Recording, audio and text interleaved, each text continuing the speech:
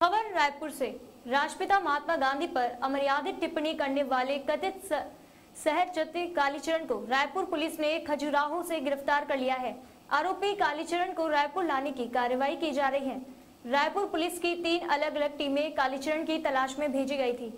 महाराष्ट्र, मध्य प्रदेश और दिल्ली टीमें भेजी गई थी, जिसमें रायपुर पुलिस की सात सदस्यीय टीम को खजुराहो में सफलता मिली है। और अधिक जानकारी के लिए छत्तीसगढ़ से हमारे संवाददाता हमारे साथ जुड़ चुके हैं। मुरली नायक। जी मुरली नायक आगे घटनाक्रम के बारे में आप क्या कहेंगे? जी मैं बताना चाहूँगा छत्तीसगढ़ में धर्म संसद महात्मा गांधी पर अभद्र और भक्तिजनक टिप्पणी करने के आरोप में जी। कालीचरण महाराज का गिरफ़्तार कर लिया गया है। हम्म, मध्य प्रदेश के खजुराहो के एक होटल में कालीचरण को आज शाम तक रायपुर लेकर पुलिस पहुंचेगी। जी जी।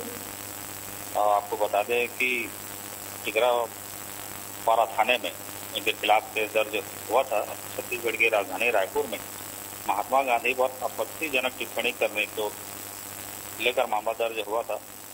उसके बाद धर्म गुरु कालीचरण महाराज ने कहा था कि उन्हें इसका कोई पश्चाताप नहीं है। रवार भाटा मैदान में रविवार शाम दो दिवसीय धर्म संसद के अंतिम दिन कालीचरण ने अपने भाषण के दौरान राष्ट्रपति राष्ट्रपिता के खिलाफ अपमानजनक टिप्पणी करते हुए उनके हत्यारे नाथुराम जोरसे की जमकर तारीफ़ की थी। उसके बाद कालीचरण फरार थे। उसकी आज गिरफ्तारी खजुराहो में हुई है। गिरफ्तारी से पहले यानी रायपुर में मामला दर्ज होने के बाद कालीचरण ने वीडियो जारी कर अपनी टिप्पणियों को सही ठहराया था। वीडियो में कालीचरण ने कहा "है, गांधी के बारे में अपशब्द बोलने के लिए मेरे खिलाफ प्राथमिकी हुई है। मुझे उसका कोई पश्चाताप नहीं है। उन्होंने कहा मैं गांधी को राष्ट्रपिता नहीं मानता। यदि सच बोलने की सजा मृत्यु है तो वह उन्हें स्वीकार है।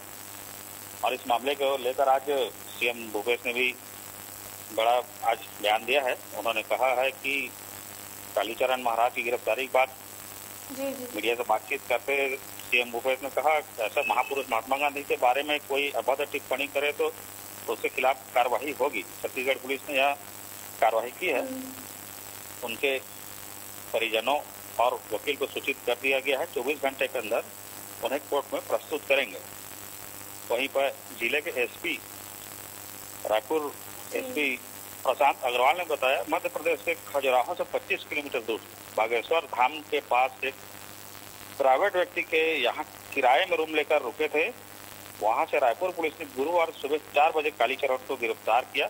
देर शाम तक टीम आरोपी को लेकर रायपुर पहुंचेगी। रायपुर टिकरा पारा थाने में कालीचरण के खिलाफ अपराध पंजीकृत किया गया है।